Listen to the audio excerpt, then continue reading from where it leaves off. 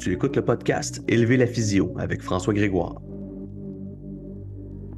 Suis-moi alors que j'explore et discute de tout ce qui concerne le marché de la physio et de la santé physique sous un autre angle au-delà de la pratique. On va parler de l'état de la profession dans le marché de la santé physique en abordant plusieurs sujets, allant de la gestion à la psychologie en passant par les aspects sociaux entourant ou impactant la physiothérapie au Québec et ailleurs. Discutons et analysons notre marché, apprenons et trouvons des solutions pour qu'ensemble, on puisse élever la physio.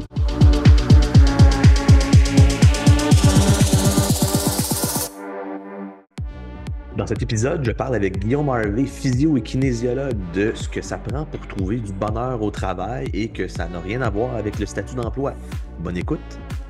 Salut tout le monde, c'est François. Aujourd'hui, je discute avec Guillaume Harvey, Guillaume qui est physio et kinésiologue. Euh, Guillaume, écoute, je pense que la meilleure personne pour te présenter, ça devrait être toi. Alors, euh, peut-être qu'on pour, avant de commencer, peut-être que je devrais, on devrait dire, euh, Guillaume et moi, on travaille ensemble. Euh, donc, euh, Guillaume, c'est mon collègue de travail. mais Guillaume et moi, on a souvent des conversations qui passent qui passent du point 1 au point 2, au point 3, au point 15 assez rapidement. Puis on se retrouve à, à, jaser de, trucs assez profonds parfois là, au niveau scientifique, puis au niveau de, de, de l'esprit humain. Fait que je trouvais ça intéressant de parler de ce genre de trucs-là avec Guillaume parce que je sais qu'on manquera pas de sujet de conversation ensemble sur un podcast. Alors, je, présente, je te présente, je vous présente Guillaume Harvey. Guillaume, euh, la parole est à toi. Explique-nous euh, d'où tu viens, euh, t'es né où, t'as grandi où, qu'est-ce que t'as fait comme études, puis t'es qui comme humain, qu'est-ce qui, qu'est-ce qui t'amène où est-ce que t'es aujourd'hui? salut François, merci de m'inviter à ton podcast dans un premier temps. moi, en gros, dans un premier temps, je suis un bleuet. Fait que je viens du lac Saint-Jean. J'ai vécu là-bas cinq ans. Mes parents ont déménagé à Laval par la suite. J'ai déménagé à Montréal pour mes études en physiothérapie. Puis, euh, en fait, toute ma vie, j'ai toujours voulu être un, un, promoteur des saines habitudes de vie. Euh, puis, j'ai toujours prôné la polyvalence, euh, puis l'équilibre aussi dans les différentes sphères de ma vie. Euh, puis, euh, c'est un peu pourquoi je me suis remisé dans le triathlon depuis que j'ai commencé à travailler. Je pense que c'était comme ma, ma, seconde nature. puis, ça m'a poussé à faire mes études en kinésiologie. Euh, à l'Université de Montréal. J'ai gradué en 2017, puis ensuite des études en physiothérapie en 2021. Euh, j'ai un parcours un peu atypique en sens que j'ai fait mes études en sciences humaines euh, au Cégep Montmorency. À ce moment-là, ce que je savais, c'est que j'avais pas vraiment envie de, faire des sciences, chimie physique, que j'avais fait au secondaire, que j'avais pas temps apprécié. Euh, J'étais quelqu'un qui aimait beaucoup s'intéresser à l'humain, être en relation d'aide, j'aimais le sport, puis je trouvais que la, la kinésiologie me rejoignait, puis à ce moment-là, je pouvais entrer avec des cours de mathématiques puis des cours de biologie de base. Donc, c'est ce que j'ai fait. Mais pendant mon parcours euh, en kinésiologie, ce que je trouvais qui manquait, c'était la possibilité de le, côté médical. En fait, la possibilité d'intervenir davantage avec les gens qui étaient en situation euh, de douleur et d'avoir des hein. euh, J'ai aussi exactement d'intervenir auprès des pathologies. Euh, donc, j'ai fait des cours de chimie physique et de biologie qui me manquaient à l'université pour compléter les préalables. Puis par la suite, ben, j'ai réussi à entrer euh, en physiothérapie après avoir fini mon, mon baccalauréat en kinésiologie. Pour moi, c'était nécessaire de finir ma formation en kinésiologie parce que je trouve que ça bonifie énormément la formation de physio que j'ai en ce moment, tout ce qui est counseling, entrevue motivationnelle, dans l'optique de changer les, les, habitudes de vie, puis d'amener les gens à être la meilleure version d'eux-mêmes aussi. Euh, puis je, je trouve que au niveau de la prescription d'exercice, euh, généraux et non uniquement spécifiques thérapeutiques côté physio, ben, ça vient aussi aider à améliorer ma pratique. Donc, euh, c'est un peu ce que je suis. Puis, comme je te disais tout à l'heure, ben, sinon, dans mes passe-temps, j'adore faire du triathlon. Euh, puis, euh, j'aime cuisiner. Ça ressemble oui, t'aimes cuisiner, Guillaume. C'est quoi ton, c'est quoi ton plat, ton plat fétiche? Mon plat fétiche, en ce moment, je suis beaucoup, beaucoup dans les mets asiatiques. Fait que tout ce qui est euh, général Tao, euh, sauce arachide, euh, j'aime beaucoup. Je trouve que c'est un repas de semaine qui se fait rapidement, mais qui est bon, qui est santé, puis qui est satisfaisant à faire. Fait que il y a bien d'autres recettes dont on pourrait se parler, mais ça ressemble à ça. Ouais, c'est un peu, quand même un peu comfort food là, dans ce genre de bouffe-là. ça, ça, se mange bien quand il fait moins 25 dehors comme en ce moment. Mais ça, puis des fois, ça peut être light aussi, comme quelque chose qu'on pourrait manger l'été. Guillaume, dans ton parcours, tu as pratiqué, tu es un gars de camp de jour en fait aussi. Euh, mm-hmm. de l'animation de groupe, c'est quelque chose que tu as déjà fait. De l'organisation de d'autres humains, en tout cas des jeunes humains dans ce cas-là. Euh, tu as, euh, fait un. As fait aussi de l'animation, puis tu en fais encore, là, plus comme entraîneur kin, si tu veux, aussi, mm. là, au niveau sportif. Qu'est-ce qui, dans ton parcours, t'a maintenu dans ce genre de truc-là? puis qui font en sorte, tu sais, aujourd'hui, que, que tu es un, un physio, euh, euh tu es, mon collègue, es, euh, tu travailles dans une clinique. Qu'est-ce qui t'amène là? Qu'est-ce qui fait en sorte que. Qu'est-ce qui t'a attiré dans, dans, avec le parcours que tu as dans le passé, là, puis jusqu'à aujourd'hui, qu'est-ce qui t'a attiré à rester là, puis à, vouloir te, dépasser dans ce genre de contexte-là? Ben, je pense que le mot d'ordre, c'est essentiellement la polyvalence. Euh, donc, le fait d'être kinésiologue et physiothérapeute, ça me permet d'ouvrir vraiment mon champ de possibilités. comme tu mentionnais, oui, je donne encore des cours de groupe, essentiellement des cours de, de course à pied. Je fais de la planification d'entraînement aussi auprès de coureurs, triathlètes dans ma pratique clinique privée. Euh, puis, en fait, je, je trouve que pour ce qui est des cours de groupe, c'est une façon de rejoindre des gens un peu plus grande échelle aussi que quand on fait du traitement one-on-one euh, en salle fermée, par exemple. Euh, fait que ce qu'on peut aller chercher comme, comme effet positif, ben, essentiellement, c'est un levier motivationnel. Euh, puis c'est un cadre ludique pour que les gens puissent s'activer, puis par la suite développer des saines habitudes de vie qui vont être capables, on l'espère, de maintenir sans notre aide. Euh, donc, je vois ça un peu comme un, comme un continuum jusqu'à un certain point. lorsque les gens besoin de, ont plus de motivation extrinsèque que motivation intrinsèque à faire une activité. Donc, ils ont par exemple besoin de la validation externe d'un groupe, ben, on donne ces cours-là, puis tranquillement, on les amène à, on l'espère, changer leurs habitudes de vie pour le mieux, afin que cette motivation intrinsèque-là de maintenir le changement de comportement dans le temps se maintienne. Euh, puis la kinésiologie, en fait, dans mon sens, c'est une science qui est méconnue et qui gagne à, être plus reconnu du côté des tiers payeurs. Je pense à la nécessité, entre autres. Euh, du côté de la SAC, on voit un petit peu plus de recommandations ou d'acceptation de, cette profession-là dans le temps. Mais euh, c'est un complément vraiment, vraiment intéressant, ce qu'on peut faire en physio dans, par exemple, nos techniques de thérapie manuelle, les exercices. Euh, tout ça aussi dans l'objectif, encore une fois, de, changer les habitudes de vie, comme je mentionnais. Là. Fait que voilà, j'aime beaucoup le fait de porter ces deux chapeaux-là, ces deux identités-là qui se complètent puis qui, euh, qui sont qui constituent un continuum vraiment vraiment dans la prise en charge depuis la douleur jusqu'à ce que la personne soit symptomatique puis qu'on puisse assurer le suivi que ce soit en performance ou juste en maintien des habitudes de vie. Fait que là Guillaume toi où est-ce que tu es en ce moment dans ta vie là? Tu t'en vas où? C'est quoi tes objectifs là euh, à court, moyen puis à long terme? Puis qu'est-ce qui mm-hmm. fait que tu choisis d'être là aujourd'hui qui répond dans le fond à tes objectifs futurs? Mm-hmm. super intéressant comme question, mais je vais commencer par répondre à ta dernière question. Qu'est-ce qui fait que je suis là aujourd'hui? Ben, je pense que comme physio, on gagne à faire valoir davantage notre, euh, notre point de vue, euh, à parler sur la place publique, puis pas avoir peur de, de ce qu'on dit, parce qu'on est compétent, puis qu'on gagne à être euh, davantage reconnu du côté du, du corps médical en général. mais ce qui m'amène à être ici essentiellement, c'est d'être ambassadeur auprès de la profession aussi de faire réaliser que, euh, par exemple, pour certaines personnes qui se remettraient en question par rapport à leurs conditions de travail, qu'il existe des milieux euh, qui offrent des conditions de travail qui sont, qui sont exceptionnelles, où on peut s'épanouir, que ce soit comme employé salarié ou encore comme travailleur autonome, dépendamment de nos, de nos aspirations. Euh, puis, en fait, pour moi aussi, de lutter contre l'attrition en physio, un peu comme toi, c'est vraiment un enjeu qui est important à mes yeux. C'est ce qui me stimule à être ici euh, présent pour rassurer les jeunes physio, que ce soit ceux qui vont finir leurs études prochainement ou ceux qui sont sur le marché du travail, qui sont peut-être insatisfaits dans le contexte actuel pour plein de raisons. Euh, c'est-à-dire qu'il existe d'autres opportunités euh, et qu'on est disponible pour en discuter si jamais ils en ont besoin aussi. Là. Fait d'ouvrir euh, l'éventail de possibilités. Puis, ben là, tu t'en vas, tu t'en vas où? Tu t'en vas où avec tout ça? Puis, comment, ouais, puis comment est-ce que tu as, euh, comment est-ce que, comment est-ce que tu as accès à, à des opportunités qui, qui te permettent de pouvoir avancer de la façon dont tu le désires, puis tu te vois, là, toi, avancer dans ta carrière? Oui, ben, je pense qu'on va y aller en chronologie. Fait que mm-hmm. pour ce qui est de l'objectif à court terme, où est-ce que je me vois, par exemple, dans, on va se dire, dans un an? Je pense que c'est un horizon de temps qui a de l'allure.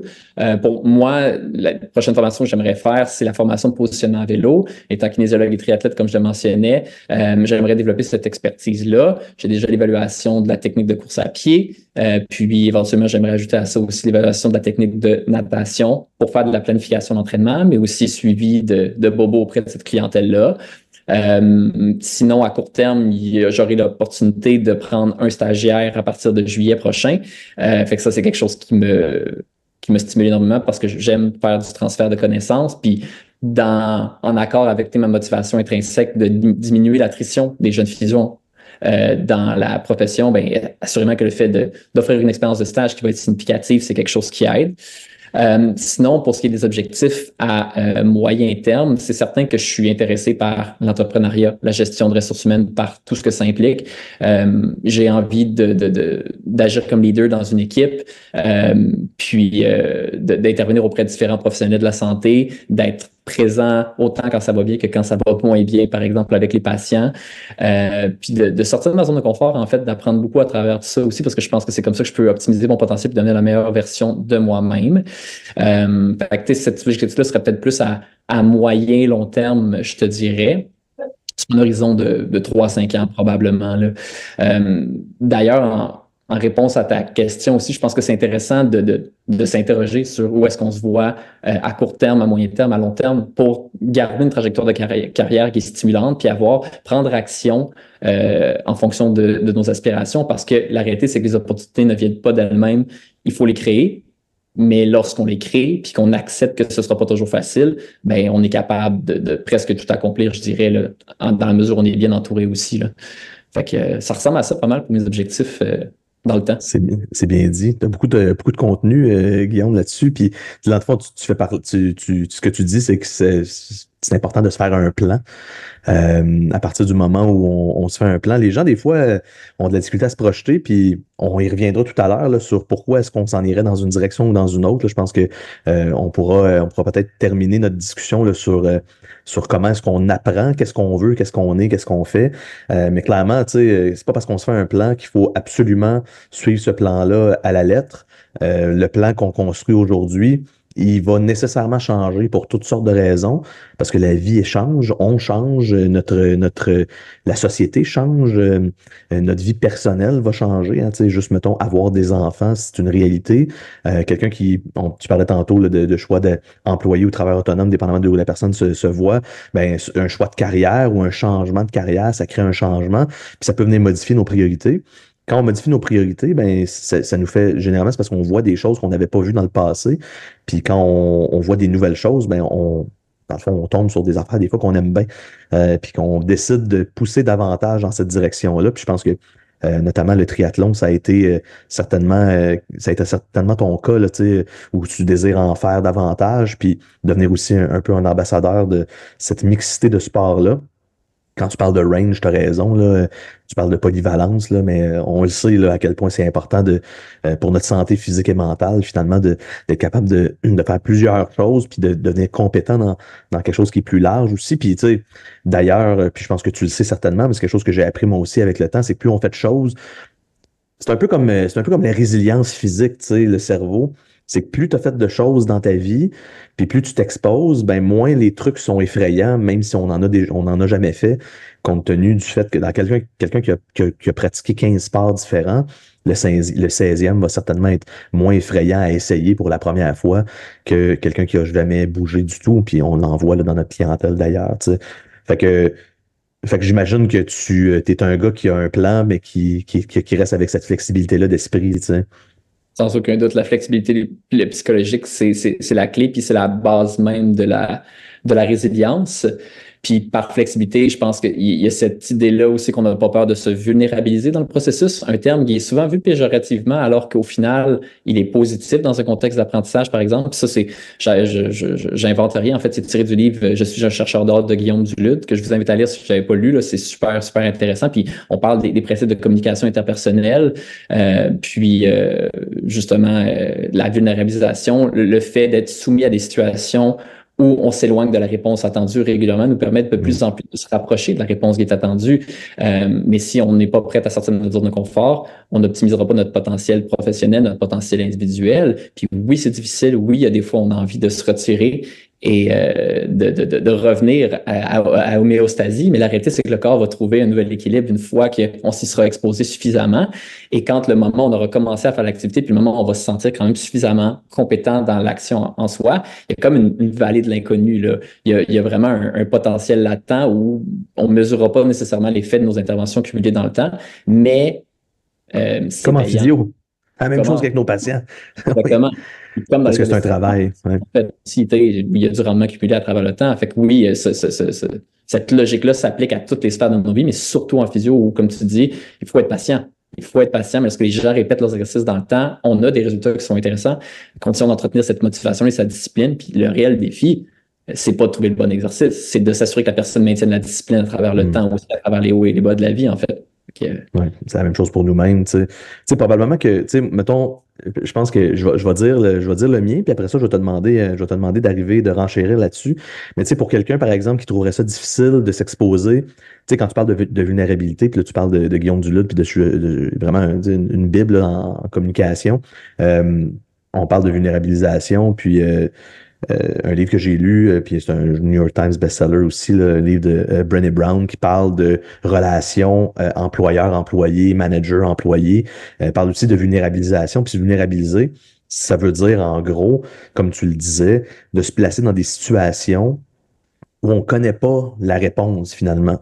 Donc ça veut dire que c'est un peu effrayant si il arrive quoi que ce soit, qui me convient pas, par exemple, dans ton travail qu'on fait ensemble, Guillaume.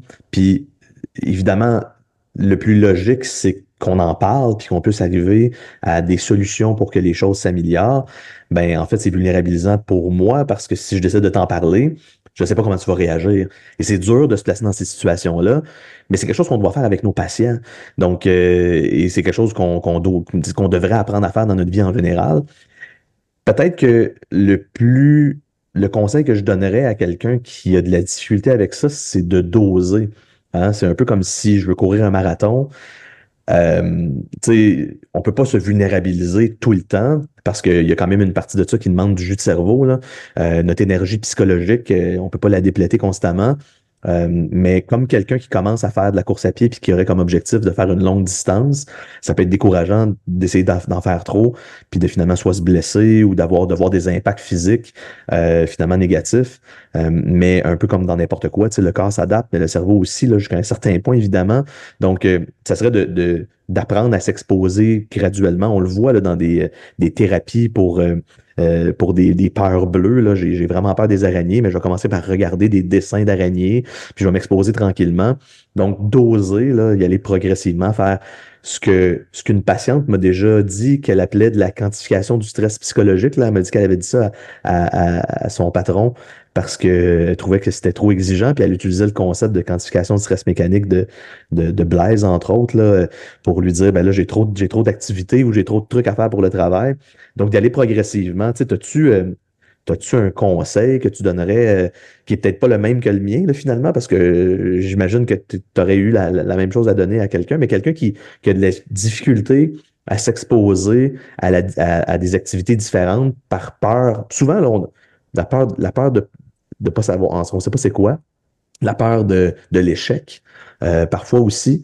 personne n'aime ça, que ça marche pas, puis se tromper, puis, euh, ça serait quoi un, conseil que tu donnerais, Guillaume, à quelqu'un qui, aurait un, peu peur, par exemple, de, s'exposer à des nouveaux défis? Mm-hmm. C'est intéressant euh, ce que tu dis. Puis, tu sais, souvent, on, pense que c'est tout le temps dans le mouvement qu'on va réussir à trouver la solution. Peut-être que c'est plus dans la cognition. En fait, la fameuse thérapie cognitivo-comportementale. Donc, il y a une cognition. Exemple, je pense que je vais me blesser en me penchant. Je me penche et j'augmente par conséquent mon risque de me blesser en penchant juste parce que j'ai eu cette pensée-là puis que j'ai cumulé euh, des émotions et un affect négatif en lien avec le mouvement en question.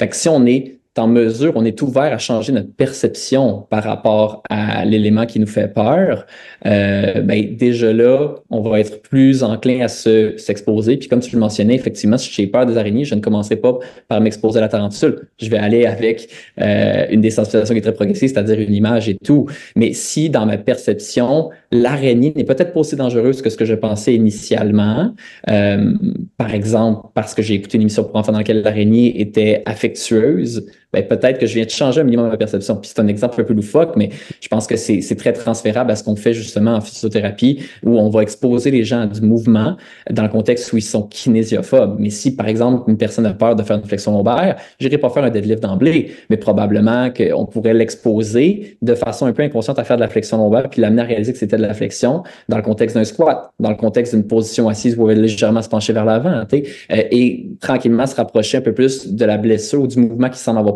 la blessure pour lui faire réaliser que euh, une fois n'est pas garante de tout le reste, c'est-à-dire que on n'augmente pas significativement le risque de, se blesser à nouveau, surtout si on augmente nos capacités puis qu'on fait les bonnes choses pour, euh, pour se faire pour se bâtir une fondation solide.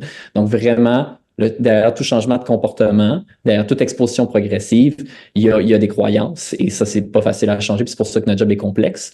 Euh, mais il y a des cognitions qui vont affecter tant positivement que négativement la, mise en action. Il faut aller jouer là-dessus aussi en explorant la violence émotionnelle. Qu'est-ce qui fait en sorte que la personne a peur? Puis qu'on l'amène à le plus possible changer sa perception de même face à ça petit à petit. Et l'expérience va aider à renforcer un petit peu tout, euh, toutes les croyances qu'elle a aussi. Mais euh, des fois, de chercher à s'exposer d'emblée n'est peut-être pas toujours la meilleure solution, mais juste de, de voir peut-être d'un autre angle la situation peut aider aussi. Mhm. Ouais, puis quand tu parles d'expérience, ben en fait, tu parles d'expérience, ça peut être, on peut le voir comme euh, étant l'expérience positive. Puis dans le fond, c'est quoi l'expérience? C'est, c'est la répétition dans le temps de quelque chose, simplement, qui nous amène à être généralement plus à l'aise, plus confortable, puis plus compétent. Euh, Qu'est-ce que tu qu'est-ce que tu penses? Puis pendant que tu parlais de ça, je, ça me faisait penser à, à toi tantôt qui me disait qu'à court terme, prendre des stagiaires, des trucs comme ça, c'est quelque chose que, euh, qui s'en vient puis que tu désires faire. Puis ça me faisait penser à comment est-ce qu'on pouvait qu'on soit que ça nous challenge beaucoup ou, peu, euh, parce que tu sais, dans le fond, ça se peut que pour toi, prendre un stagiaire, c'est pas quelque chose qui te challenge, compte tenu que tu prends déjà un certain rôle de leadership dans ta vie de façon générale, puis même en clinique mais quelqu'un pourrait se sentir très challengé de prendre un stagiaire. Puis ça me faisait penser à à quel point est-ce qu'on s'entoure de gens qui sont là pour nous supporter dans un contexte de changement ou de situation potentiellement, encore une fois, le vulnérabilisante. Euh, comment est-ce que tu vois l'importance de l'équipe? Je pense que le support peut venir du patron, peut venir des, des supérieurs, entre guillemets, là, des gens qui, euh, qui sont de qui on, qui sont responsables de nous, mais qu'on est responsable aussi, euh, qui sont responsables de nous dans toutes sortes de facettes, là, parce que être responsable de quelqu'un, c'est aussi être responsable de son bonheur puis de son, son plaisir au travail dans tous les cas. Mais comment est-ce que tu vois l'impact de l'entourage puis de l'équipe, que ce soit tes collègues ou euh, tes patrons là, dans, le fait de prendre une nouvelle responsabilité qui peut, comme je le disais, soit potentiellement être vulnérabilisante un peu, beaucoup, énormément? Mm-hmm. Très intéressant comme question. Ben, par rapport aux avantages, justement, d'être d'être employé salarié, mais d'être surtout dans un contexte de travail dans lequel je sens que je peux, je peux m'épanouir, ben c'est sûr, c'est sûr que cette, cette idée-là que j'ai euh, la, la, chance d'avoir le mentorat de plusieurs physios, de diverses années d'expérience, euh, qui ont d'expérience, oui, dans des expertises spécifiques, et ça, c'est ça à quoi euh, les jeunes physios ou les étudiants finissants attribuent beaucoup d'importance, mais surtout aussi de l'expérience dans différentes facettes de leur vie. Euh, puis quand je pense à, ça, j'ai aussi en tête Émilie, travaille avec moi, puis qui, qui a vu a eu beaucoup, beaucoup de stagiaires, euh, qui est impliqué dans le comité de stage à l'Université de Montréal, euh, puis qui, qui agit comme mentor tant pour la discussion de cas cliniques, mais surtout, surtout euh, pour me mettre en confiance dans la prise en charge de stagiaires. Fait quand j'ai des séances de mentorat hebdomadaires individuelles, ben, on ne parle pas que de de, de, mes cas cliniques, on parle aussi de comment on va construire l'horaire pour intégrer tranquillement le stagiaire comment lui montrer l'environnement de travail, euh, quel est le temps qui doit être attribué au, euh, à l'enseignement des techniques versus le retour. Parce que ce qui arrive aussi, c'est que lorsqu'on n'est pas encadré là-dessus, euh, les physios étant en général des gens très perfectionnistes, puis assurément tous très intelligents, ben là, c'est qu'on s'en met beaucoup trop sur les épaules. Et là, on se met à risque de surmenage parce que finalement, on fait notre 8 à 4, puis de 4 à 5, on fait le retour avec les cas cliniques, puis il nous reste deux heures de correction à faire. Il faut qu'on se, se force à se mettre des trous dans notre horaire aussi pour prendre le temps de faire la correction des cas, pour discuter des cas pratiqués, et ça, ça va uniquement bonifier l'apprentissage euh, du stagiaire aussi. Euh, donc, ça, c'est vraiment, vraiment une perle dans, euh, dans ma pratique. Puis, ce que j'aime aussi, c'est quand travailler dans un environnement où il y a plusieurs professionnels, ben ça te permet aussi d'avoir accès à un physio qui a deux ans d'expérience, un physio qui a cinq ans d'expérience, il y a dix ans, où ils ont tous, tous, tous des éléments euh, ans. à, t'apporter, euh, 17 ans ou 15 ans d'expérience. euh, fait que ça, ça vient vraiment beaucoup, beaucoup euh, bonifier ta, ta pratique, puis ça fait en sorte que tu es plus satisfait dans ton milieu de travail, indépendamment de ton statut. Là. Oui, définitivement. Tu sais, c'est ce que, ce que tu dis, tu sais, c'est que là, tu sais que tu parles du mentorat comme étant un, échange euh, entre humains qui est, qui, qui, est, qui est pas uniquement dédié tu sais, à, de la pratique. Puis en fait, qui parfois en début de carrière, qui peut l'être, certainement, parce que en fait, l'objectif du mentor, c'est d'offrir au mentoré ce qui va le rassurer dans le travail. Tu sais, y a-tu quelque chose de pire que de pas se sentir compétent dans qu'est-ce qu'on fait? Puis clairement, c'est peut-être Bon, puis on ne parlais pas pour parler de ça aujourd'hui, mais c'est peut-être une des raisons de l'attrition, en tout cas, là, le sentiment d'incompétence ou le sentiment de ne pas être pleinement compétent. Euh, quand on est un jeune physio, puis le risque associé à ça, ben, c'est que ça peut pas durer trop longtemps, cette sensation-là de pas savoir exactement où est-ce qu'on s'en va, où est-ce qu'on on aide pleinement les gens. Fait que le mentorat devient hyper important juste pour venir valider les idées qu'on a, évidemment pour venir donner des nouvelles idées, puis regarder ça d'une autre perspective. Euh, le mentorat, ça sert jamais à empêcher quelqu'un de pas faire ses propres erreurs, mais ça sert à, ça sert à le plus possible d'empêcher quelqu'un de pas faire, par exemple, les erreurs que moi j'ai faites. Donc, quand tu parles de surmenage, ben, tu sais, dans le fond, ah ouais, ben, je suis déjà passé par là, puis, tu sais, si tu veux mon conseil, parce qu'il faut toujours que le conseil soit sollicité, idéalement, tu sais, euh, mais je pense que ça, ça se développe dans une relation de confiance, tu sais, c'est correct de challenger les gens puis de leur dire qu'est-ce qui, euh, qu'est-ce qui pourrait améliorer où les choix qu'ils font sont peut-être pas la même chose que ce qu'on ferait au point où on a de l'expérience. Euh, et c'est plus facile à faire ça quand on développe une relation euh, saine avec euh, entre collègues. Tu sais, quand la relation est bonne, mais c'est plus facile de se donner de se donner notre opinion finalement sur qu'est-ce qu'on fait. mais dans tous les cas, dire à quelqu'un, ben moi je ferais ça autrement compte tenu que j'ai déjà fait ça, puis je te suggère de le faire de telle façon. Fait que ça nous permet de voir des fois un aspect, par exemple dans la prise de stagiaire, qu'on n'a jamais vécu, euh, et là, dans le fond, tant qu'à le prévoir puis avoir de la boue dans le toupette, là, euh, ben, on pourrait faire en sorte d'éviter d'avoir euh, d'avoir à vivre ce genre de situation négative-là. Mais d'un autre côté, c'est important de se placer aussi dans des situations qui peuvent potentiellement nous amener à réfléchir parce que là, on peut pas toujours apprendre dans juste dans le positif, hein, tu sais, puis tu es d'accord avec moi certainement, Guillaume, là-dessus, c'est qu'on apprend pas juste, on apprend en fait beaucoup plus dans nos erreurs que dans nos, dans nos réussites. Comment est-ce que tu vois le, la balance entre le fait de recevoir du mentorat et de faire tes propres expériences?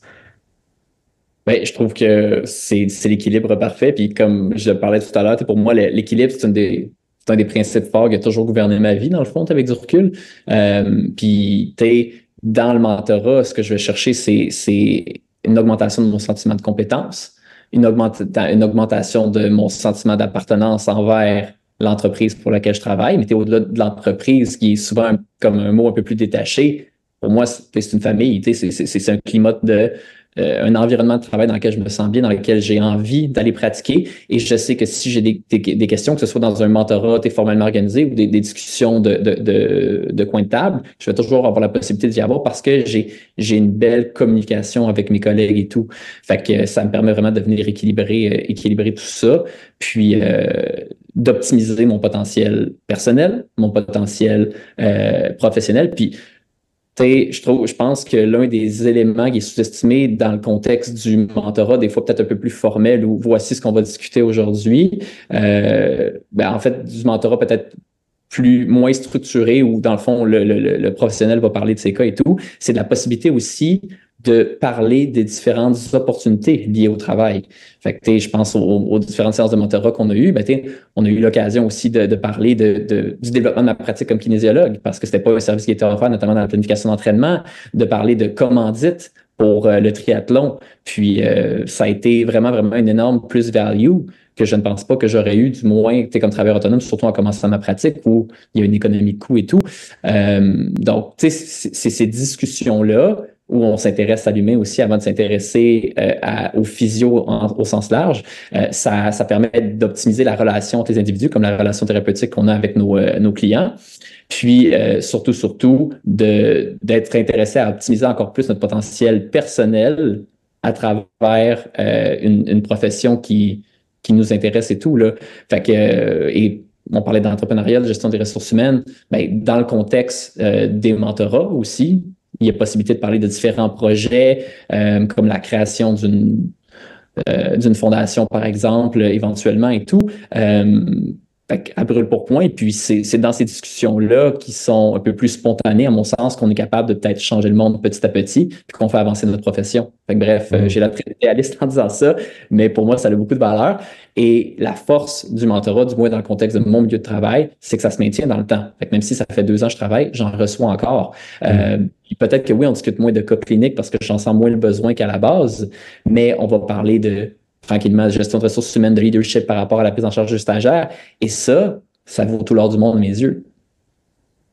Ouais, je suis vraiment d'accord avec toi, puis tu amènes un excellent point. Puis juste avant qu'on commence à enregistrer, on parlait du euh, euh, de l'épisode de podcast entre euh, Alexis Goujon puis Denis Fortier là, sur Parle-moi de santé, où une chose qu'on n'a pas discuté, là, mais on parlait du podcast, mais une chose qu'on n'a pas discuté, c'est qu'à un moment donné, Denis puis Alexis se demandent quand est-ce qu'ils doivent prendre, quand est-ce qui, qui a le temps de faire du développement de la profession, puis de donc c'est difficile pour les professionnels de la physio de euh, penser à l'avenir de la physio, au développement de la profession, puis de mettre du temps et de l'énergie là-dessus, ben à petite, petite échelle, ce que tu viens de dire, c'est que c'est sûr que si on est complètement organisé, puis on fait juste rester by the book à des techniques de thérapie manuelle, des exercices, puis euh, des cas cliniques, ce qui est important, mais si on reste juste là-dedans, ben ça nous enlève des fois un peu l'opportunité de divaguer. Puis parce que tu sais, quand on parle de, de, de, de discuter puis de faire avancer la profession, comme tu viens d'en parler, ça, ça, reste un peu de la. Ça prend un esprit créatif. Ça prend l'esprit doit être libre de s'en aller dans une direction. Puis il faut pas puis c'est correct dans certaines circonstances qu'on se ramène parce que des fois, il y a des, il y a des ben, tout le temps, il y a des limites de temps puis d'argent, mais, euh, mais c'est correct de, pouvoir laisser libre cours à notre esprit de dans quelle direction est-ce que je voudrais que les choses s'en aillent pour le bien, en fait, entre autres, de notre profession, pour notre bien personnel, dans un cas de mentorat individuel, évidemment. Euh, encore une fois, tant si longtemps que ça fait du sens pour, euh, pour le bien commun, euh, le bien commun qui est une entreprise dans, dans notre cas, le bien des, des autres, de nos collègues, des autres employés, évidemment le bien de nos patients, là, euh, ça doit passer en premier, mais, mais il faut se donner l'opportunité ou la possibilité de, de, de, de parler d'autres choses en lien avec notre profession. Puis en tout cas, c'est peut-être là une petite opportunité de pouvoir changer le monde, un peu comme tu disais, Guillaume, qu'est-ce que tu en penses? Mm-hmm. Tout à fait. Puis, en fait, un des, grandes forces que je vois d'être employé salarié dans ce contexte-là aussi, c'est que j'ai pas le stress financier de payer pour chacune de ces séances de mentorat-là. Je suis rémunéré pour faire ces séances de mentorat-là. Donc, tu es mon, mon, employeur, toi en l'occurrence à ce moment-là, mais tu valorise le fait qu'on prenne ce temps-là pour discuter d'éléments qui vont au-delà aussi de mes cas cliniques, puis de, OK, t'en as gardé combien, t'en as perdu combien aussi, parce que des pertes au suivi, par exemple, il y en aura toujours, puis ça, c'est un des éléments qui joue beaucoup aussi dans l'attrition qu'on voit chez Jeune Physio, il n'y a pas doute là-dessus, ce sentiment d'incompétence qui est essentiellement attribuable aussi aux pertes au suivi, alors qu'il y a plein d'autres éléments qui sont en gros qui peuvent faire en sorte qu'on a des pertes au suivi. Puis avec du recul, il y a déjà qu'on a perdu au suivi, qui n'ont pas répondu au courriel, puis qu'on revoit dans notre, dans notre salle deux ans plus tard, puis qui nous ont fait trois autres personnes. Fait que se donner le temps d'être patient, d'être résilient dans ces contextes-là, fait en sorte qu'on cumule des expériences possibles au final, alors qu'à la base, on a vécu des émotions négatives, puis qu'on réalise que, hey, je suis pas si mauvais que ça, puis il faut que quand même que je prenne le temps de me déresponsabiliser par rapport à certains trucs sans être tout à fait désintéressé de l'évolution de mon patient. C'est pas du tout ça qu'on dit. Euh, ben, c'est essentiel à la pérennité de la profession, puis au fait qu'on va rester dans cette profession dans le temps, parce que, peu comme Marc-André Sarrazin le disait plusieurs fois, on a la chance d'aider les gens fondamentalement, à mon sens, pour les bonnes raisons, d'être bien rémunéré pour le faire, puis euh, d'avoir de, des discussions avec des individus qui sont eux aussi exceptionnels et qui vont nourrir souvent nos, nos, nos, nos aspirations personnelles et professionnelles lorsqu'on se bâtit de plus en plus une clientèle qui est à notre, qui est à notre image. Euh, puis le mentorat, ben, c'est un peu la, c'est la cerise sur le Sunday dans tout, dans tout ce contexte-là. Donc, le fait que ce soit pas nécessairement ultra structuré, mais qu'on parle d'éléments importants.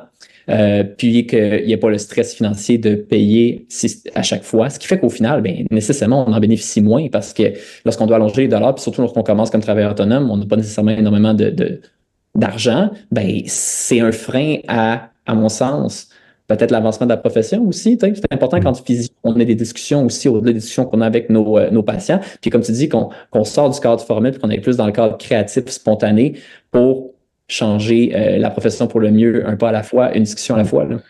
Ouais, nous faire avancer. Puis c'est un excellent point que tu amènes. Tu sais, c'est un angle que j'avais pas vu là, tu sais, dans, dans la partie mentorat où en fait j'étais bien conscient là, que tu sais, chez nous, je pense qu'une des choses qui. Que, puis, on le faisait naturellement, puis en fait, euh, à force de lire des trucs, tu sais, je pense qu'on avait bien raison de faire ça comme ça. Puis c'est exactement ce que tu dis. C'est que le mentorat qu'on donne, on parle de physio. À la base, c'est pour en tout cas, ce que les professionnels pensent quand ils commencent, c'est qu'on va parler juste de pathologie, puis de traitement, puis de, euh, de diagnostic.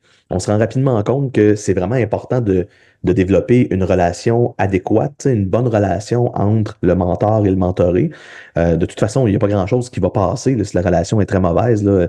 Euh, si toi et moi, on s'entend pas bien, Guillaume, puis je te dis tes quatre vérités, il y a beaucoup moins de chances que, que tu prennes ça pour du cash ou que tu l'appliques euh, versus si on avait une bonne relation. En tout cas, je, moi, je l'ai jamais vécu, là, mais euh, quelqu'un qui paye pour du mentorat, je peux comprendre que c'est important et compagnie, mais c'est sûr qu'il y a beaucoup moins de chances que les discussions basculent vers quelque chose du genre création, euh, où est-ce que la profession s'en va parce que ben on a si on a 30 minutes, notre 30 minutes est comptée. Je vais te parler des cas que je connais pas puis que je comprends pas. Si on a 60 minutes, notre 60 minutes est comptée.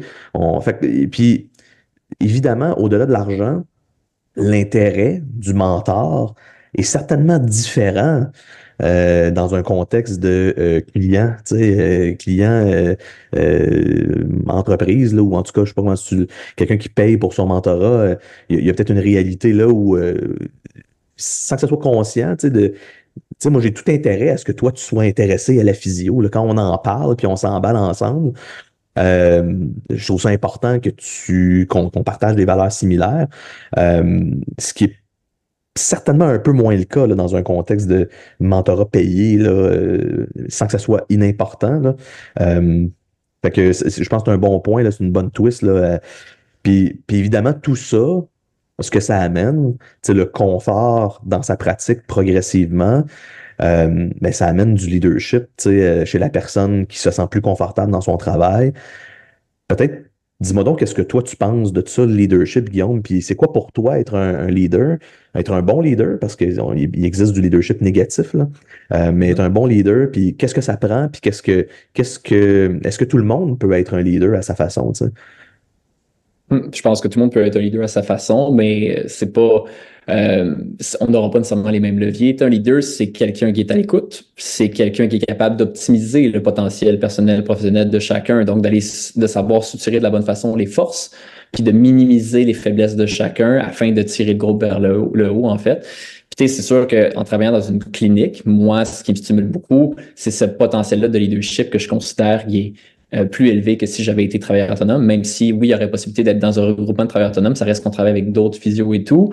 Euh, je trouve que en étant employé salarié, dans le fond, j'ai cette opportunité-là d'avoir des répercussions auprès de la clientèle, dans le leadership aussi, auprès euh, des gens avec qui avec qui je travaille, puis éventuellement auprès des, des, des agents au service à la clientèle, donc des autres humains avec qui on va partager cet environnement de travail-là pour au final, faire grandir la profession pour le mieux aussi. C'est sûr que c'est vraiment la façon dont je décrirais le leadership.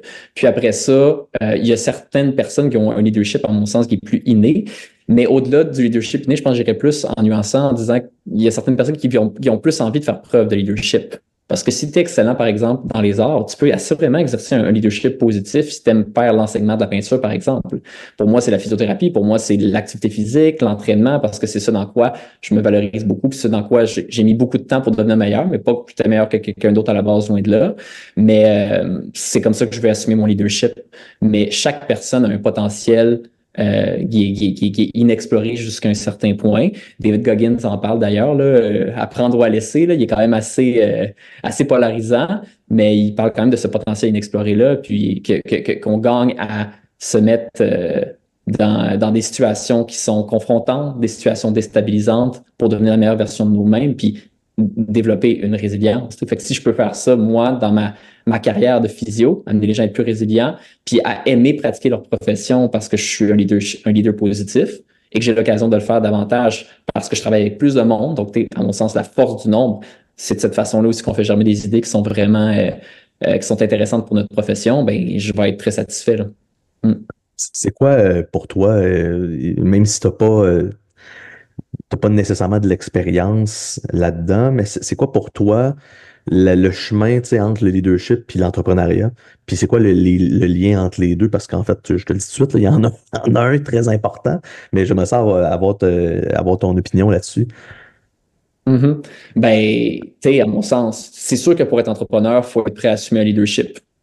Euh, il faut être prêt à se sortir de sa zone de confort. Puis je pense que c'est peut-être là que tu vas en venir. Fait que tu parlais tantôt de ah situations utilisantes aussi. Euh, fait que quand on est entrepreneur, ben, on prend des risques, des risques financiers. Euh, on prend des risques dans les discussions qu'on a avec nos employés des fois où on se sort régulièrement de nos zones de confort, mais ça fait de nous des, des personnes qui sont totalement plus résilientes puis qui en viennent à optimiser davantage leur potentiel. Est-ce que c'est tout le monde qui veut, qui veut faire ça? Non. Puis je pense que ça prend des gens qui veulent rester euh, plus dans le rôle de clinicien, par exemple, d'autres personnes qui ont envie de, de travailler au développement de projets euh, puis euh, de, de, de, prendre certains risques, mais des risques calculés quand même à, toutes les fois. Je pense que c'est la prise de risque, en fait. Euh, parce que derrière le leadership, il y a une forme de courage. Tu veux pas, exemple, le, podcast qu'on donne en ce moment, mais on s'expose, on divulgue nos idées. Euh, donc, pour certaines personnes, ça peut venir avec une certaine source de stress parce que ce qu'on dit peut être remis en question et c'est tout à fait correct parce que ça stimule la, la, la, discussion puis c'est comme ça qu'on avance. Mais ça, ça doit, ça doit être remis en question. Ouais. Mais puis là, qu'est-ce que tu allais dire? Excuse-moi, ça reste. Euh, ben, c'est, ça reste euh, super formateur pour la suite et ça reste nécessaire parce que si on n'évolue pas, puis que comme profession, on ne grandit pas, ben, jusqu'à un certain point, éventuellement, on est condamné à perdre un peu notre place dans le marché de la douleur, euh, que certains aiment ou non ce, ce titre-là. Quant à moi, ce qu'il faut réaliser, c'est que ça reste concurrentiel. Puis euh, si en ce moment, il n'y a peut-être pas assez de gens qui consultent en physio, c'est parce qu'on n'est pas assez reconnu du côté du public. Puis ce n'est pas parce que l'horaire d'un physiothérapeute expérimenté de deux ans et plus est plein que nécessairement il répond aux attentes de la population, puis que le, le, taux de présence en physiothérapie est suffisant aussi. Je pense qu'on peut aspirer à plus et qu'on a tous les outils pour le faire. Mais pour avoir les moyens de nos ambitions, il faut en parler publiquement, puis susciter des discussions qui vont faire en sorte que s'il y a des gens qui sont insatisfaits dans le milieu de travail, mais qui veulent faire le changement pour aller ailleurs, par exemple, que ce soit comme employé salarié ou à travers autonome, je pense que ça regarde chacun. Mais ce qu'il faut garder en tête, c'est que euh, par exemple, du côté d'employé salarié, bien évidemment, euh, ça, ce n'est pas en contradiction avec le désir d'indépendance. Euh. Au contraire mais il faut être bien entouré, puis il faut développer des relations qui sont significatives avec notre employeur, puis les, nos collègues de travail, pour avoir envie d'aller au-delà du rôle de clinicien si c'est quelque chose qui nous stimule. Oui, ben en fait, c'est possible que quelqu'un qui décide de faire le saut vers autre chose, que ce soit quitter la physio carrément ou se dire ben je vais changer de mode de pratique, c'est quelqu'un qui n'a pas retrouvé ça dans son, dans son milieu de travail. Puis le plus difficile, c'est de se dire que tu sais c'est pas parce qu'à un endroit, c'est pas adéquat que ce l'est pas partout. Tu sais, on... c'est quelque chose qu'on se dit souvent, c'est qu'un patient qui a, qui a pas eu le succès escompté en physio, est-ce qu'il retourne en physio? Malheureusement, dans notre profession à nous, la plupart des gens, contrairement aux dentistes, hein, si c'est un dentiste avec qui le courant passe pas, ben, pour ta santé bucco-dentaire, tu vas aller voir un autre dentiste en physio, euh, malheureusement, souvent quand les gens, ça fonctionne pas, entre guillemets, en physio, mais ils vont aller voir, ils vont changer de type de thérapeute. Ils vont aller voir un autre thérapeute qui est pas physio. Euh, euh, c'est le même principe que, que, que, que, dans, un, dans une job, tu sais. Euh, bon, et puis on, on, peut, on va flirter avec euh, l'autodétermination tantôt, là, mais la réalité, c'est qu'il y a toujours une partie de nous qui on doit donner, puis on, il y a une partie qu'on doit recevoir, puis c'est un, euh, c'est un, c'est un, c'est un slow dance là, comme ça à, deux personnes où les deux doivent l'aider à leur façon. Mais, mais dans tous les cas, c'est pas parce que c'est pas à, à, la hauteur de ce que tu t'attends à un endroit que ce ne sera pas ailleurs. Ça, c'est clair. tu parlais de dans le fond, je fais un résumé un petit peu d'une partie de ce que, ce que tu viens de dire, c'est, qu'il y a un danger à être euh, conservateur. C'est quand les choses changent et évoluent, puis qu'on est trop conservateur, ben on se remet pas en question. Écoute, un bon exemple, là, puis je sais que tu es un fan de hockey, Guillaume, tu as peut-être vu euh, passer là, euh, la Ligue professionnelle féminine de hockey, puis comment est-ce qu'ils vont procéder là, au premier choix. Donc là, ils ont décidé que à partir du moment où une équipe est éliminée, ben, c'est le nombre de points que l'équipe est capable de faire après son élimination officielle qui va l'amener à avoir le premier choix au repêchage de l'année suivante euh, pour éviter le, fameux tanking, là, les équipes qui se débarrassent de tous les joueurs, puis euh, dans ce cas-ci, les joueuses, là, puis euh, pour finir bon dernier, pour avoir le, plus de chances d'avoir le premier choix au repêchage. C'est très dur pour une ligue comme la NHL de faire ça parce que tout le monde gagne de l'argent, gagne beaucoup d'argent. C'est une ligue qui va rester conservatrice dans le contexte où changer les choses peut paraître plus risqué euh, pour les gens assis dans le poste de conducteur, pour qui ça semble fonctionner hein, euh, déjà depuis longtemps, mais on le sait que dans bien des, dans bien des, endroits, puis en affaires notamment, euh, une des pires phrases à dire, c'est ben ça a toujours fonctionné comme ça. Alors, alors tu sais, l'opportunité que cette nouvelle ligue-là a, c'est qu'elle part de nulle part. Elle a elle a tout à construire. et c'est important de rester passionné, curieux, puis si nos mentorats un à un nous permettent juste ça, ça c'est un, un, début, c'est un minimum, mais nous permettent de rester créateurs dans on est où en physio, puis où est-ce qu'on veut s'en aller, je pense que ça nous permet de rester affamés, d'apporter toujours, dans le fond, la santé physique euh, de la population vers des nouveaux horizons, puis apporter, puis nous apporter nous-mêmes, évidemment, parce que si la physio euh, continue d'évoluer positivement, puis tu sais, euh, vraiment, faut rien enlever à personne qui est passé avant nous, Guillaume, la physio, dans les 50 dernières années, la, la, la profession a fait des avancées fulgurantes, là. Euh, mais dans tous les cas, faut pas s'asseoir là-dessus. C'est pas parce qu'on est une paramédicale, euh, paramédicale, où on est formé dans des facultés de médecine, on, est loin d'avoir le monopole. Euh, puis si on pense qu'on l'a, on va se faire manger à l'une sur l'eau, ça sera pas tellement long. Mm-hmm, exact. Puis en fait, comme physio, et je pense qu'il n'y a aucun physio qui va, qui, qui, qui, va dire le contraire, on, gagne à avoir davantage d'actes réservés aussi qui, va, qui nous est octroyé par le Collège des médecins. et ça, ça passe par la reconnaissance du public. Puis ça passe par le fait de faire nos preuves sur une base régulière et suffisamment longue. Ça reste que oui, il y a, du lobbyisme à travers tout ça, mais euh, j'ai aucun doute, à mon sens, qu'on va continuer à évoluer comme profession dans les prochaines, les prochaines années, puis qu'on va gagner différents, différents actes qui vont faire en sorte que les gens vont se rattacher encore plus à la profession, parce qu'ils vont avoir l'impression qu'ils euh, sont encore plus importants dans la trajectoire de soins, puis dans le fait d'éviter l'hypermédicalisation ou de diminuer de ces clients-là. La, la pharmacopée, euh, entre autres, là, on le sait, et la douleur chronique, en fait, lorsqu'on se rend là, parce que les délais d'attente sont trop élevés, par exemple, au public, ça coûte excessivement cher en coût direct et indirect au système de santé. Fait que pour moi, personnellement, je, m'en fais un devoir aussi qu'on devienne plus accessible et surtout plus attrayant aux yeux de la population pour aider ces gens-là qui seraient peut-être sceptiques par rapport à une approche par l'exercice ou une approche par la physiothérapie pour les aider à soigner leur douleur, puis à intervenir au moment opportun. Et ça, c'est autant en prévention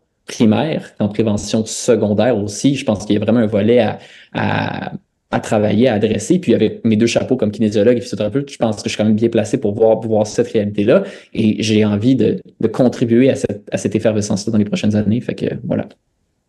Oui, puis tu sais, je veux dire, c'était pas notre c'était pas notre sujet de, discussion après ma barre, mais tu sais, si je peux ajouter un petit peu là-dessus, là, quand tu parlais de d'obtenir davantage de, de droits ou d'actes, là, tu sais, de, de pratiques, euh, et, je suis conscient là, que notre professionnel travaille fort là-dessus. On voudrait toujours que ça aille plus vite, évidemment.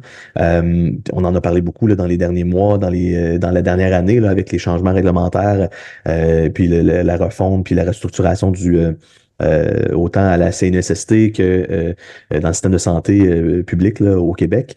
et là, ça, écoute, on pourrait faire un, on pourrait faire une saison complète à parler juste de ça.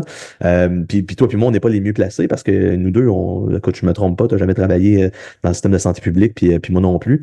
Le plus que je m'en suis rapproché, c'est d'essayer de faire des vaccins là, il y a quelques années. Et c'était tellement compliqué qu'on comprend pourquoi il y, a, il y a du gaspillage de temps et d'argent. Mais bon, je vais fermer mon éditorial là-dessus, mais y aurait-tu quelque chose de plus puissant? sais, mettons, quand on connaît l'impact négatif potentiel d'une surmédicalisation sur une pathologie qui n'en a pas besoin, donnons un exemple, infiltrer de la cortisone pour une tendinopathie des extenseurs euh, du poignet, euh, la fameuse épicondylite. Euh, y aurait-tu quelque chose de plus puissant qu'un physio qui pourrait dire à son patient, je peux t'infiltrer de la cortisone, mais ceci n'est pas la bonne chose à faire en ce moment, c'est pas le bon traitement. Alors, je ne t'infiltrerai pas de cortisone. Il y a deux théories là, sur est-ce que les physios, ça ferait du sens qu'il y ait le droit ou ça aurait du sens qu'il y ait le droit de, euh, d'infiltrer de, la cortisone, par exemple. Puis il y a des gens qui vont dire, ben, ça serait surutilisé si c'était le cas, etc. On devrait être les gardiens de tout ça. Mais tu sais, imagine la puissance que tu as avec ton patient à dire, ben non, c'est pas de cette façon-là qu'on va s'en débarrasser parce que c'est pas ce que tu as besoin. Je peux te le faire, mais je te le fais pas. Évidemment, avec une supervision adéquate de l'ordre professionnel, je pense que ça devient très puissant dans la tête des gens pour diminuer les, euh, la surmédicalisation. Mm-hmm. Oui, puis le fait d'avoir cet acte réservé-là n'implique pas qu'il y aurait nécessairement plus d'affectation de cortisone, comme tu mentionnais. assurément, il y en aurait probablement moins, puis on s'assurait de faire le travail d'éducation aussi autour, autour de l'intervention pour que si ça devient nécessaire, parce que dans certains cas, ça peut être une intervention médicale qui est pertinente, euh, ben, qu'on a fait les bonnes interventions au préalable, euh, puis qu'on s'est assuré du consentement libre et éclairé de la personne aussi. Combien de fois est-ce que je peux entendre le cas de patients qui ont reçu des affectations cortisone sans avoir été renseignés des, des effets néfastes, de la fragilisation des tissus conjonctifs, du risque de déchirure complète, par exemple, éventuellement. Fait que sans être fataliste, il faut que les gens soient au courant de ça pour qu'ils ne voient pas ça comme une intervention miraculeuse. Et c'est comme ça pour toutes les autres tests d'imagerie et tout. Mais il y a cette réalité dans le système où il y a, il y a un roulement élevé, il y a des listes d'attente où les médecins n'ont pas nécessairement le temps de faire ce travail d'éducation-là et je les comprends. Euh, ben c'est là où on devient hautement nécessaire et indispensable. Euh, puis si on a ces actes réservés-là qui sont, oui, des actes médicaux, ben il y aurait moins de ces interventions-là qui seraient faites et elles seraient faites dans le contexte où elles seraient absolument essentielles. Euh, donc, on aurait une économie de coûts là, à grande échelle qui serait probablement assez, assez majeure.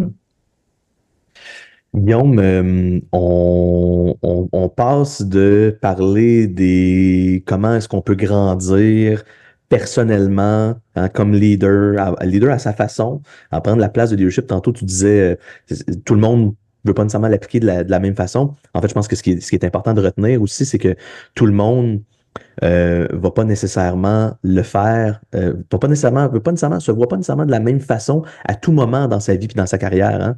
Tu sais, tu peux vouloir accélérer beaucoup euh, ta croissance professionnelle à un moment, puis il peut y avoir un autre moment dans ta carrière où c'est correct là, euh, de ralentir un petit peu pour toutes sortes de raisons que la vie nous impose. évidemment, notre vie personnelle, de façon générale, qui, qui, qui, va avoir un, un, impact sur notre vie professionnelle. Alors, ça, ça, demeure en partie un choix, puis c'est correct, parce qu'il y a des moments dans la vie pour, pour ralentir un peu pour toutes sortes de raisons, puis il y a des moments pour accélérer. Euh, mm. comment, au-delà de où est-ce qu'on travaille, dans quel contexte on travaille, comment est-ce qu'on, tu sais, la grande question, c'est comment est-ce qu'on peut être heureux dans notre job? Mm-hmm. Tu parlais de la théorie de l'autodétermination tout à l'heure. Euh, fait que c'est la meilleure façon d'être épanoui au travail. Euh, ça nécessite un travail d'introspection. Puis, euh, lorsque c'est fait, on a une idée de pourquoi on est satisfait ou insatisfait, que ce soit euh, au travail ou dans une relation qu'on entretient avec quelqu'un d'autre. Ça s'appuie sur trois principes forts qui sont l'autonomie, la compétence et l'appartenance. Euh, l'autonomie, donc, est-ce que je me sens libre de prendre mes, mes, bonnes décisions? Euh, côté physio, en général, on a la chance de pouvoir développer une clientèle basée sur l'autoréférencement euh, et tranquillement d'avoir une clientèle qui est de plus en plus à notre image. Donc, à mon sens, c'est très stimulant et valorisant. Euh, le sentiment de compétence, euh, ou l'apparence de compétence, mais ça, c'est quelque chose qui, on en parlait plusieurs fois, fait probablement en sorte que certains physios quittent la, profession euh, rapidement, début de carrière. Puis ça, ben, ça, ça, se travaille et ça implique d'aller dans des, dans des situations qui sont vulnérabilisantes. Euh, le mentorat de groupe, le mentorat individuel, l'exposition régulière aussi. Je sais que dans les podcasts, vous parliez du, du roulement euh, privé versus comme travailleur autonome où effectivement, ça peut être un avantage de voir des patients 45 minutes, une heure, mais c'est certain qu'au volume, on finit par moins en voir. Là, après ça, il y a la discussion par rapport à la qualité versus la quantité.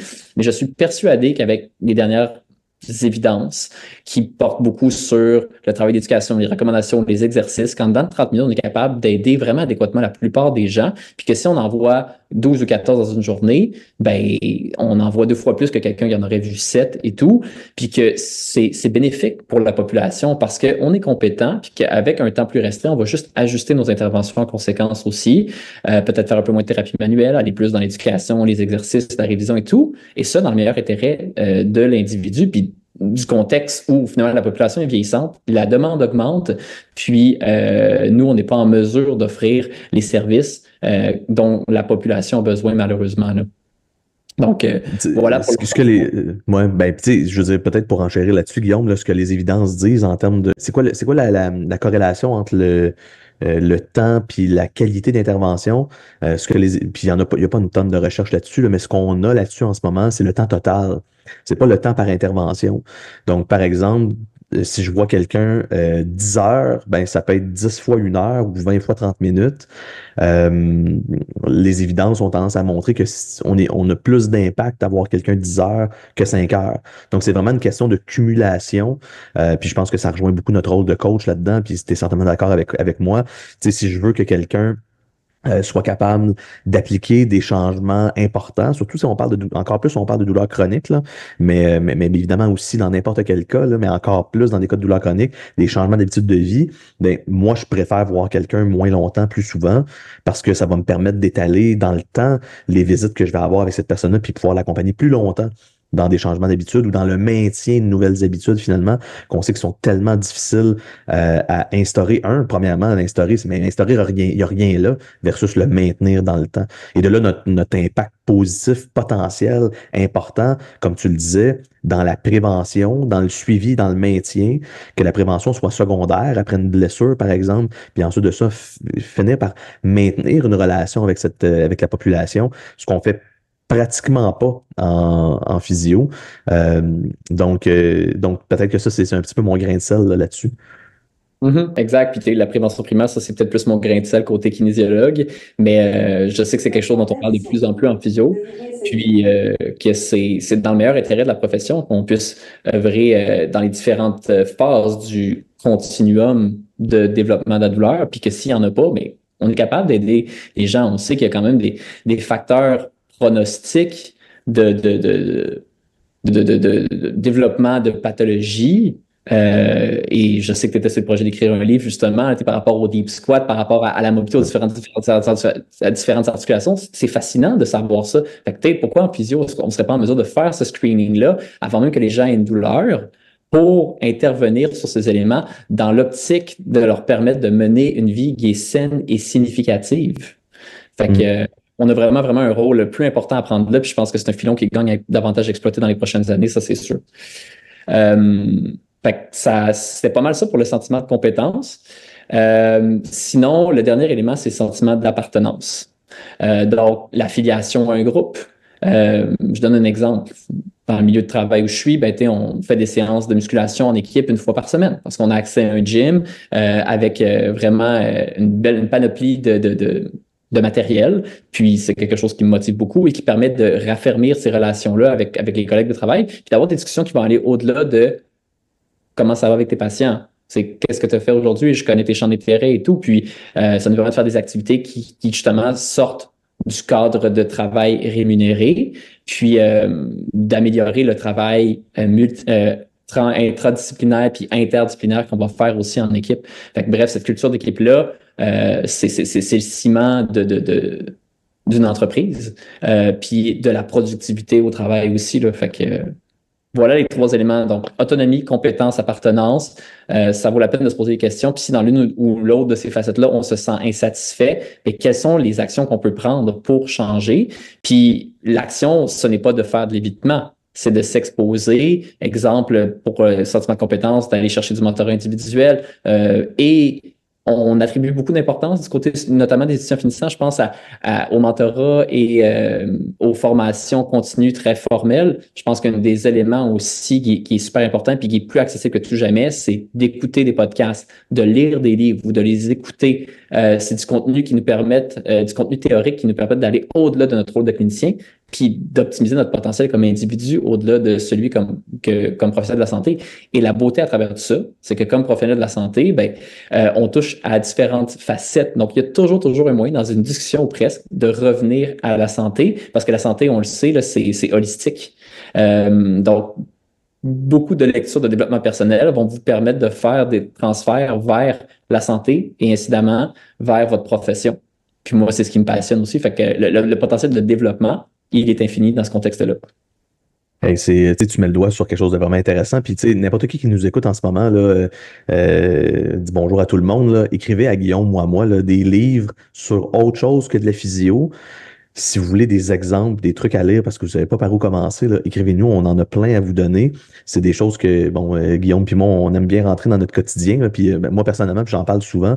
Euh, j'écoute des Audible, Audible, c'est Amazon, puis ça te permet d'avoir un, nouveau livre par mois. Puis moi, j'aurais jamais pensé là, que écouter un livre, j'aurais trouvé ça intéressant, mais en fait, je trouve ça passionnant. Et systématiquement, si je lis ce qu'on appelle un non-fiction, qui est pas, je suis pas en train de lire Harry Potter, là, quoi que ça peut être intéressant à écouter, mais euh, mettons, si je lis un livre, je sais pas, en ce moment, là, je suis en train de, ça fait longtemps que je voulais euh, lire, euh, euh, puis en fait, je dis lire, mais c'est écouter, là. puis d'ailleurs, il y, a, des théories là-dessus, là, sur est-ce que écouter, c'est lire, puis j'avais lu un truc récemment, puis en fait, il y a des études qui ont tendance à démontrer que écouter un livre ou le lire, c'est la même chose en termes d'acquisition de connaissances, là.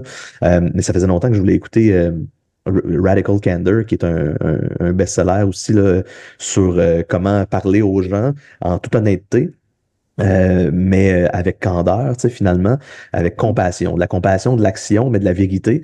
et systématiquement, quand, puis tu vas, c'est sûr que tu vas être d'accord avec moi, là, Guillaume, quand je lis des livres comme ça ou quand j'écoute des livres comme ça, je pense, je pense à la physio. Parce que il y a tellement de choses qu'on peut appliquer dans qu'est-ce qu'on fait autant moi dans mon travail plus de gestionnaire, mais aussi avec mes patients, qu'est-ce que qu'est-ce que je peux faire avec en termes de management avec euh, avec mes collègues, euh, mais aussi qu'est-ce que qu'est-ce que mes collègues et moi on peut faire euh, en physio par exemple, en ergo, en masso, peu importe, avec notre clientèle, avec nos patients. Euh, c'est golden et il y a beaucoup de choses là-dedans qui sont jamais adressées ni dans le diplôme ni en formation continue parce qu'on reste toujours dans le pathologique, la pratique, les modalités, le diagnostic et c'est vraiment important. Mais on, on, puis écoute, on, on, boucle la boucle, on parlait de range tantôt, mm-hmm. de polyvalence. C'est, il y a un livre d'ailleurs qui s'appelle comme ça, Range, super important, autant chez les sportifs euh, que chez monsieur, madame, tout le monde, de se rendre, d'ouvrir ses œillères puis d'aller voir ailleurs. Ça nous rend plus compétents dans ce qu'on fait de façon générale euh, le plus souvent.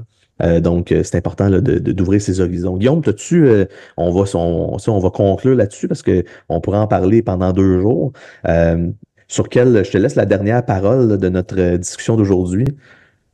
Euh, oui, ben, en conclusion, euh, je pense que es comme que vous soyez employé salarié ou travailleur autonome, là n'est pas la question, c'est assurez-vous d'être épanoui au travail.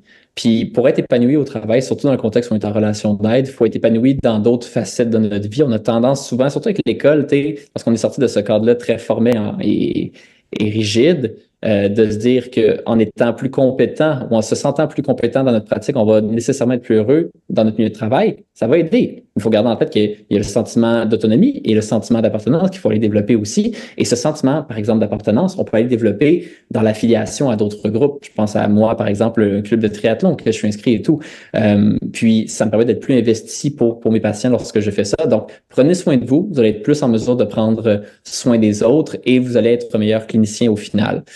Euh, dernier élément aussi, au niveau de la connaissance, les connaissances spécifiques en physio sont pertinentes, mais la réalité, c'est que lorsqu'on commence, euh, c'est pas des connaissances qu'on manque. C'est d'être capable de faire notre entonnoir adéquatement, puis d'être disposé dans notre relation thérapeutique sous forme d'écoute active, parce que le processus de rythme clinique est tellement cognitif qu'on oublie un peu tout ce qui se passe à côté. La réalité, c'est qu'on a un humain devant nous qui vit la souffrance psychologique euh, en raison des incapacités physiques euh, qu'il a, il faut prendre le temps de l'écouter. Il faut sortir du cadre où on doit faire nécessairement tel test, tel test. Une fois qu'on a exclu les red flags, qu'on a rassuré la personne, surtout l'évaluation initiale, on a fait la job et euh, on est utile. Donc, peu importe votre statut de travail, assurez-vous d'être satisfait dans les différentes facettes de votre vie, puis vous allez mener une vie qui est plus significative pour vous et pour les autres au final, si vous êtes acteur de changement positif.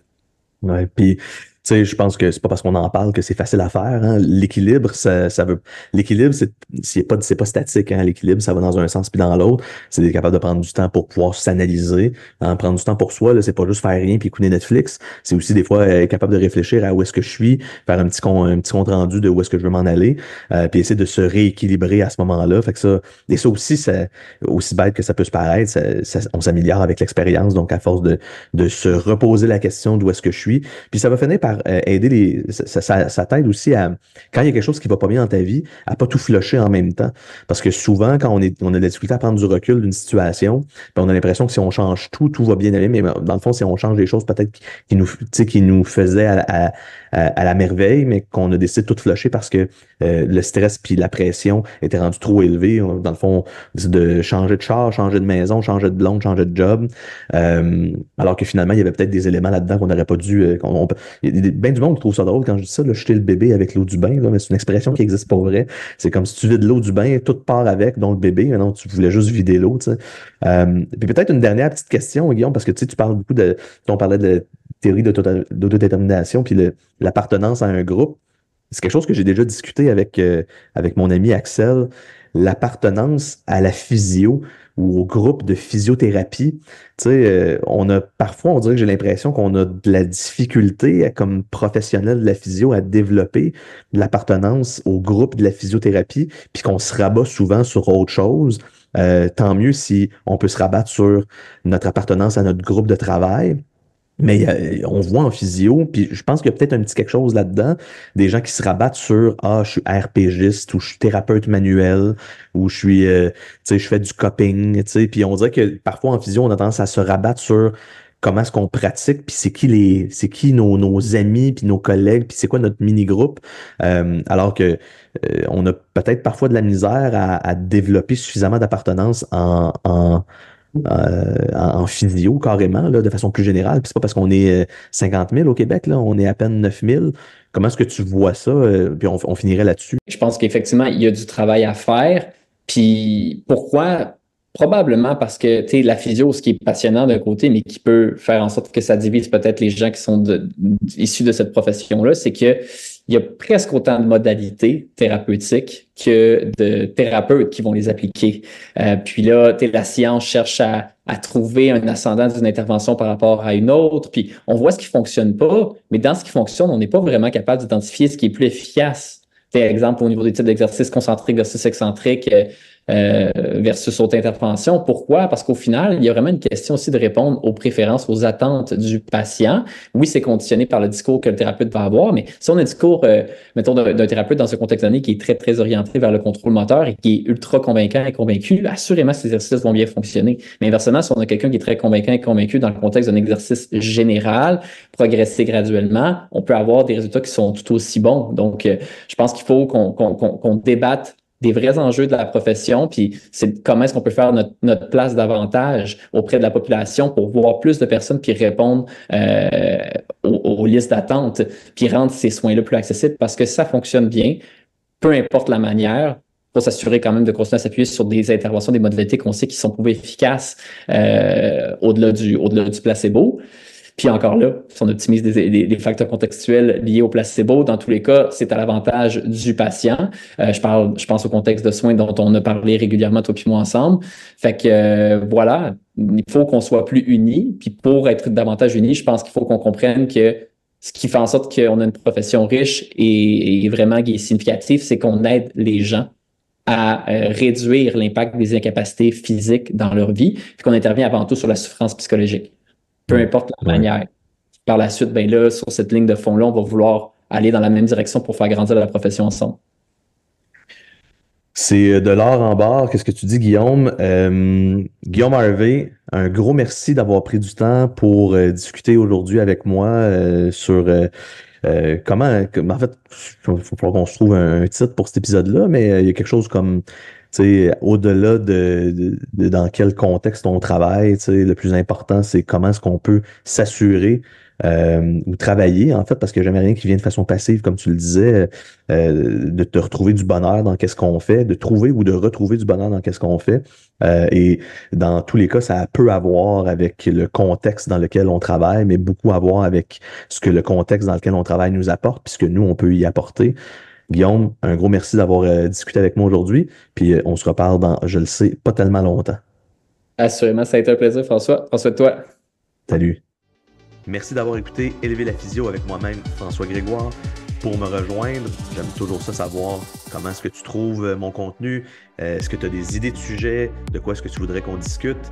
Euh, Frankie Physio sur Instagram, sur Facebook ou à mon courriel françois à mouvementphysio.com. Merci beaucoup de m'avoir écouté. À la prochaine.